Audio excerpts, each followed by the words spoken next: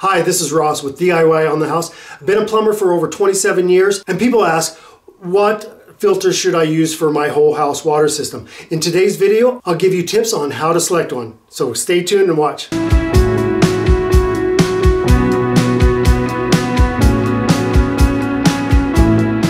Hi everyone, this is Ross with DIY on the House, and this is the SimPure pleated water filter. This is a 4.5 by 10 and will fit in any standard 4 inch filter sump. Now this is a 5 micron water filter. It, catches, it catches rust, dirt, silt, sand, and any undissolved particles.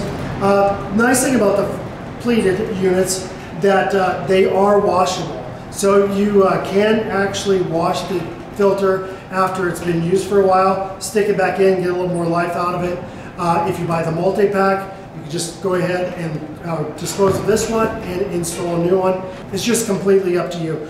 Uh, these do have a lifespan of roughly about 30,000 gallons, but that depends on also if you're on city water, uh, a shared well with a filter system, like a uh, municipality or community well, uh, or if you're on just a private well, you may go through these a lot faster depending on what it's producing, if it's producing a lot of silt or any particles coming up from uh, the well.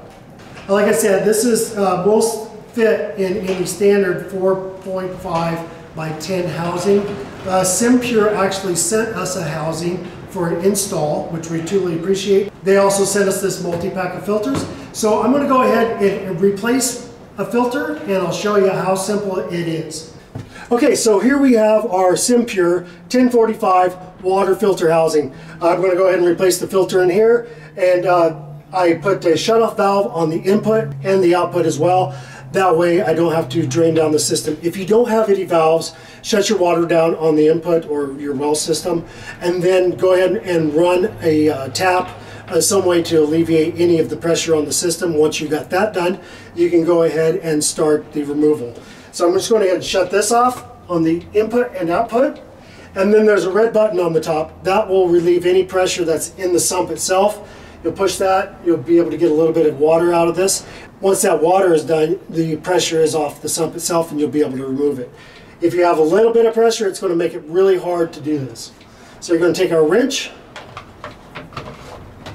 and we're just going to go ahead and open that up just a little bit. And we're going to go ahead and just spin off the sump. And we're going to go ahead and just dump out our old cartridge and then clean our sump out from any silt or rust or whatever debris it's got in there. We want to make sure we start off with a just a nice clean housing.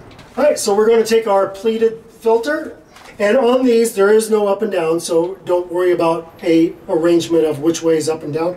We're going to slip that down. Inside the uh, sump itself there's a protrusion that peg that you're going to go ahead and slip that down on and you want make sure your filter is just almost flush with the top.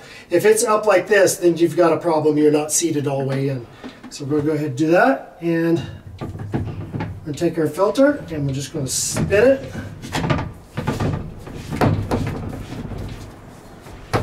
And we're going to rotate the housing until it's hand tight. At that point, I'm going to go ahead and just give it a little bit of a turn and that'll seat in the uh, O-rings that are inside the sump. All right, so now that we have that on, I'm to go ahead and turn our water back on and I'm going to push the red button. Once I get a little bit of water out of this, I'm going to get a little bit of air first and then the water. And then once that's done, I can go ahead open this valve all the way and then slowly open up the outgoing valve. And there you have it want to make sure we check for leaks. If there's none, you're good to go, and then you're prepared for the next replacement. Again, I want to thank SimPure for sending us the uh, uh, filter housing. This is the 1045 model. If you don't have one, I suggest this. is super well built, and I really appreciate that. All right, well, thanks for watching the video, and we just appreciate uh, SimPure for sending us this product to try out.